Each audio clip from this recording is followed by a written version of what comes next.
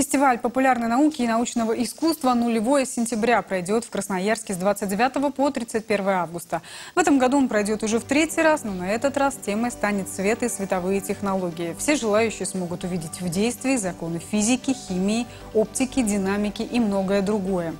В этом году фестиваль будет разделен на две части. Два первых дня будут проходить в Красноярском музейном центре. Там организаторы развернут интерактивные площадки научных институтов, вузов, инновационных центров и производств. А в заключительный день всем гостям предложат поехать на экскурсии по научным центрам и институтам Красноярска.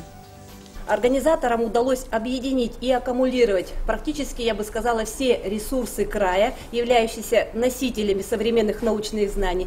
Э, если вы там посетите и увидите Институт биофизики, Институт леса, Институт физики, геологии, в том числе вузы, педагогический университет, на этих площадках как раз ученые, увлеченные люди э, смогут продемонстрировать достижения современной науки.